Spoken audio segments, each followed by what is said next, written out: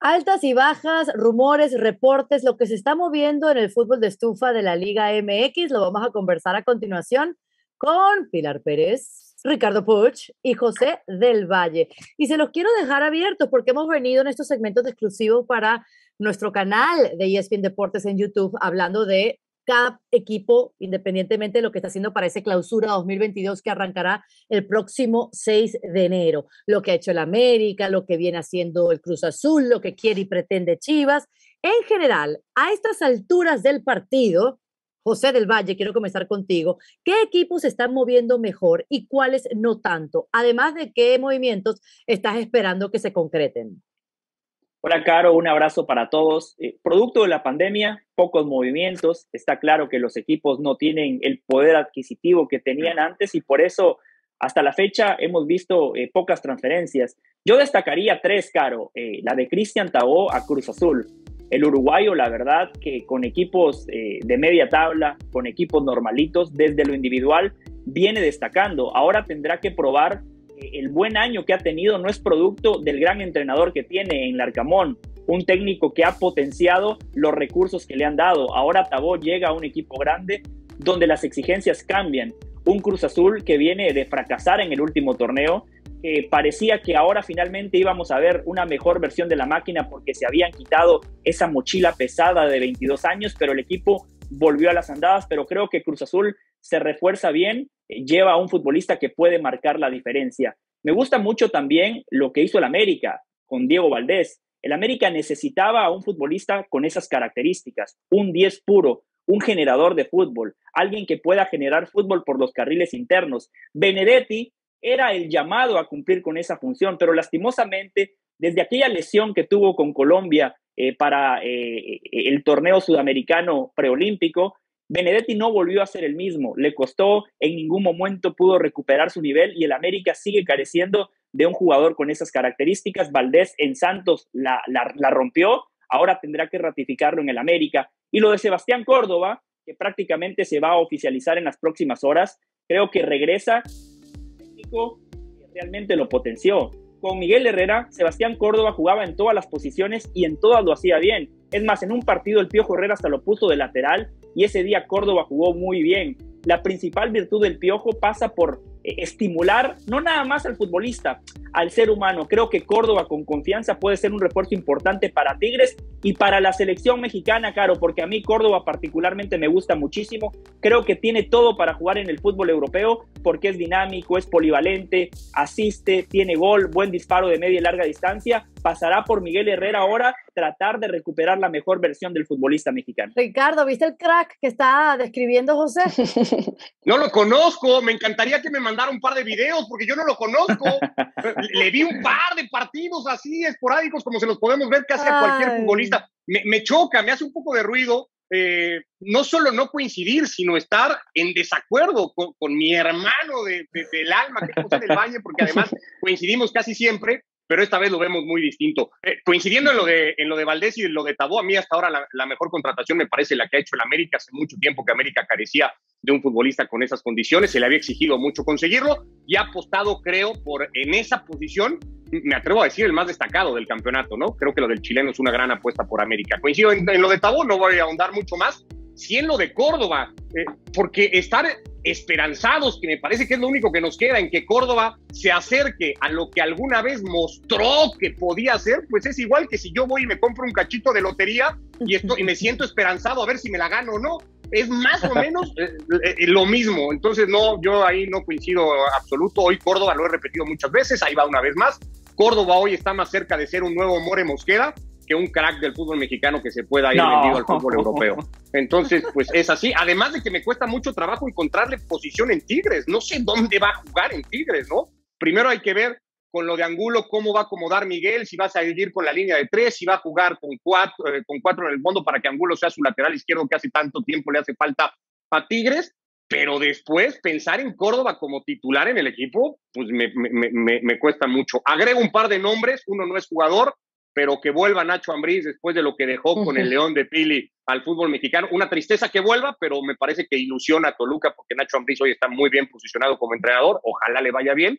Y a sus 38 años, Rubén Zambuesa es un futbolista que sigue marcando diferencia. No sé por qué Ambris no lo consideró en sus planes. Va a San Luis, un equipo pues que no está para gran cosa, pero Zambuesa es un futbolista que a donde ha ido ha marcado diferencia. Yo le pondría ojito ¿eh? ahora con el equipo potosino. Qué interesante. ¿Y Pili, para ti?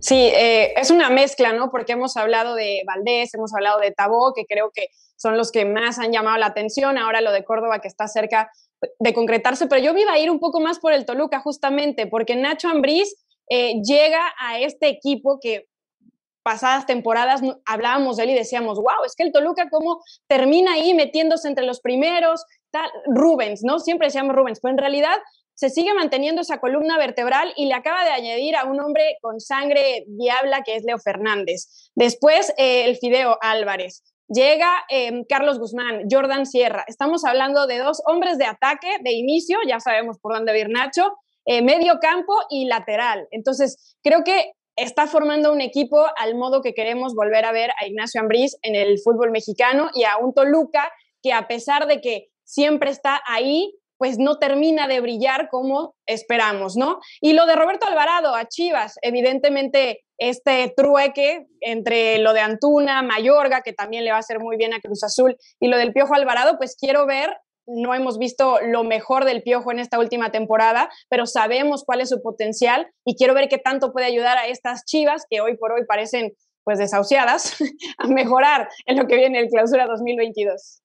Gracias por mencionar a Chivas, era lo que les iba a preguntar. ¿Y la Chivas para cuándo? ¿Y la Chivas para cuándo? Porque ahora están intentando repatriar a Rodolfo Pizarro a, la Liga MX desde la Major League Soccer, ¿no, José?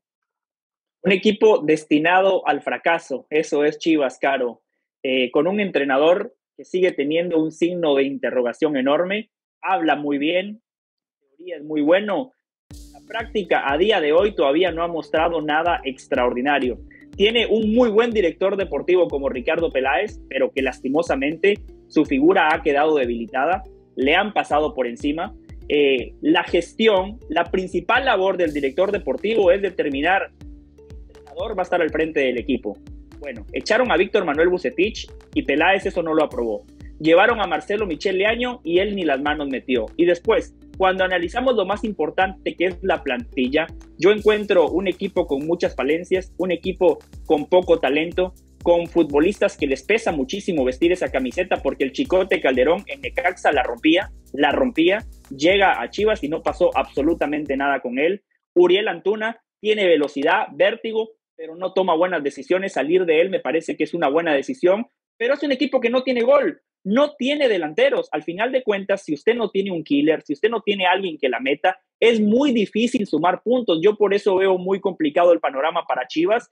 Eh, eh, es más, lo de Córdoba hubiese sido muy bueno. Sé que eh, Ricardo Puch no quiere a Sebastián Córdoba, pero en el mano a mano, Córdoba con el Piojo Alvarado, yo me quedo con Sebastián Córdoba. Es mucho más polivalente, es mucho más regular en el terreno de juego, pero bueno, habrá que ver si Marcelo Michel Leaño nos puede callar la boca, pero el presente, Caro, tomando en cuenta los recursos que tiene el entrenador, yo lo veo como un equipo que va a seguir fracasando. José, pero el intercambio real fue Uriel Antuna por el Piojo Alvarado. ¿Ahí con quién te quedas? Uno. Ah, ah no, sabes que con el piojo. Qué patética tu esperanza, sí. Ahora, hemos estado hablando de los equipos que mejor se están reforzando. Han mencionado Cruz Azul, han dicho a, América por lo de Valdés, Toluca, em, todos menos Chivas. Ahora, de los que se están quedando atrás, eh, ¿por dónde empezaríamos, eh, Ricardo?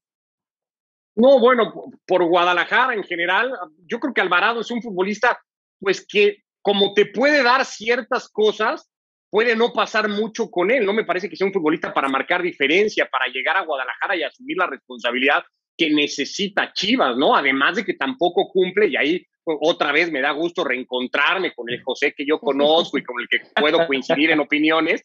No, no, no, no, no, no llega a, a, llenar las principales necesidades de Guadalajara que están de cara a gol. Ahí sí, completamente de acuerdo. Entonces, creo que Guadalajara le falta muchísimo trabajo por hacer para poder pensar en que Chivas eh, esté al, nivel que, su nombre demanda. Hace mucho que no está a esas alturas y, no pinta para volver a estar. Una tristeza, por ejemplo, un equipo como Pumas, que cerró el torneo como lo cerró, que evidentemente no cuenta con recursos suficientes para salir y para poderse hacer de algún futbolista interesante. Le va a seguir costando mucho trabajo a Lilini armar al equipo. Y, y después habría que esperar de los que tienen recursos qué movimientos puede hacer. El grupo Pachuca hasta ahora está muy calladito, no ha pasado grandes cosas con ellos. Me parece que necesita meterle mano a los dos equipos. Eh, Tigre se hace de un gran jugador que hace mucho tiempo necesitaba por el lateral izquierdo o marcando en línea de tres, como puede hacer Angulo, que viene de un súper torneo con el Atlas, que ya está en la órbita de selección nacional. Me parece que es una gran apuesta, pero tampoco ha hecho nada rimbombante. Y, y, y Rayados campeón, ¿no? Eso está perdiendo elementos, pero ¿y luego? Siempre decíamos. Porque no sé tampoco. No, perdón, no sé tampoco cuánto esté dispuesto a invertir la directiva de Atlas. Necesita, ¿eh? Atlas, más allá de lo bien que pudo mm. haber andado, y, sobre todo perdiendo Angulo, pues va a necesitar que le ayuden un poquito a Coca a mantener el equipo para cuando menos aspirar a algo parecido. Pero siendo otro de los grupos importantes, perdón, Caro, pues Santos tampoco, ¿no? Entonces, ¿a cuál estás dando prioridad? ¿Al campeón o a Santos? Porque tampoco hemos visto mucho movimiento. No, y cuando jugaban la final ante León, lo que le criticaban a Atlas que no tenían fondo de armario, o sea, que, eran los que eran y no había de dónde buscar, y que eso les jugaba en contra para poder ganar el torneo. Lo ganan 70 años después. Bueno, ¿qué está haciendo el campeón? ¿Qué está haciendo Atlas, el grupo Orlegui, con este equipo que rompió un maleficio, una maldición, y que por lo menos aspira con tener un decente torneo en el clausura 2022? Fueron segundos en la general, prácticamente de principio a fin, no me equivoco, Pili. No, no te equivocas, lo hicieron muy bien. Eh, la mejor defensa del torneo, ahí con lo poco que tenían o no, muy fieles a su estilo, terminaron, sí, ya vamos a entrar en el tema arbitral, pero terminaron poniéndole cara a todos y, y haciendo una final muy digna más allá de lo que sucedió con el arbitraje, ¿no? Porque el León por momentos defendía un resultado de ida muy mínimo, mientras que el Atlas estaba buscando campeonar y lo consiguió después de 70 años. Así que deberían de querer mantenerlo ahí. No sé si a lo mejor el objetivo era, ok, hagamos los campeones y ya, que pasen otros 70. Ojalá que no. Ya veremos, ya veremos las manos, las manos oscuras de la multipropiedad del fútbol mexicano. Fútbol de estufa, todas las semanas hay que tocarlo antes de que comience el clausura de que ruede el balón a partir del próximo 6 de enero.